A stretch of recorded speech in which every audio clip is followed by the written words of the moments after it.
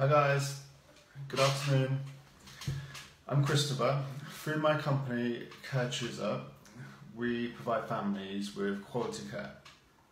Our thing is consistent care, so we don't do the agency thing where we send in different carers each day. It'll be the same carer each day, consistent care. Oh, my microphone isn't plugged in. Let me just plug that in. Oh, I forgot about that.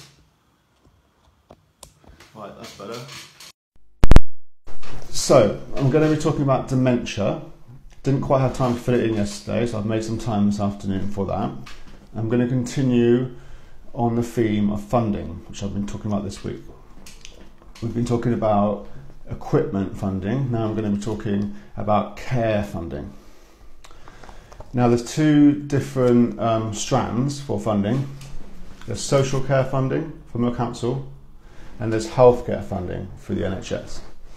Now, dementia is a social disease, which means more often than not, it falls under social care, which means you pay, rather than NHS healthcare, which is publicly funded.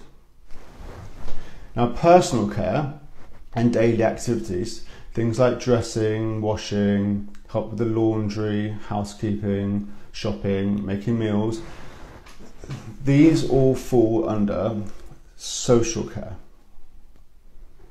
which falls under the council, which means these things will be publicly funded by you unless you have a means test and are eligible.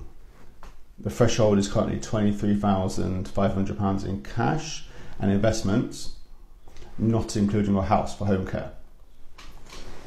Um, for care homes, they do take in the value of your house. Now, NHS support is free, but this needs to be for a healthcare condition rather than for daily activities. Uh, so, not everyday living tasks. So, what does this include? Things like physio, eyesight, hearing, foot care, speech and language, mental health falls under NHS funding mobility, terminal illness, um, rapidly deteriorating health, long term medical conditions, um, things like breathing, continence, and communication. Now, NHS funding is called Continuing Healthcare, CHC, and it's for complex needs. It's quite a grey area a diagnosis of dementia doesn't qualify your loved one for this NHS funding. In fact, most of the time it will come under social care funding, which means you'll need to pay for it privately.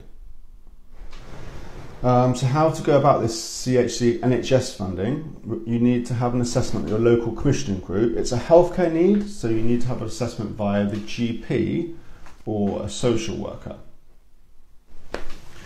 Don't talk about everyday things that your loved one can't do. This is what most people do do in a needs assessment. They talk about the things that their loved one can't do, such as they can't dress anymore, they can't wash themselves anymore, they can't take themselves to the toilet anymore. But these things are everyday living tasks. They will fall under social care, which means you'll be publicly funding it, and not healthcare. So you need to be thinking about the healthcare, medical needs that your loved one has rather than the everyday things that they can't do in order to trigger NHS funding rather than social care funding. So, as I say, dementia is a social disease. It's classed as a social disease in this country. Therefore, usually in the UK, usually falls under social care funding, which means you pay, rather than NHS funding, which is publicly funded.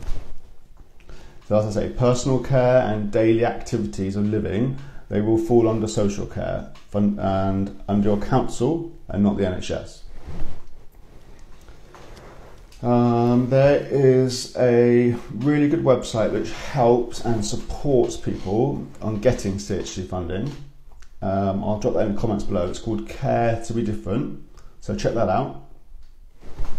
Um, if you need any more support or if you've got any questions about this, then drop me a message below and I'll see. Drop me a message or a comment below even, and I'll see if I can help and support you. Um, share this video with anyone that needs to see it. Anyone, if you know someone that has dementia, or a loved one that has dementia, then um, share this with them, share them with, with their family so they can know about the different types of funding and how to trigger it. Um, so tomorrow is Friday. Friday's live is on behaviour. So if you have any questions about behaviour, people living with dementia or children, then drop me a comment below and I'll briefly uh, look into that on tomorrow's live. Um, yeah, have a great afternoon, everyone.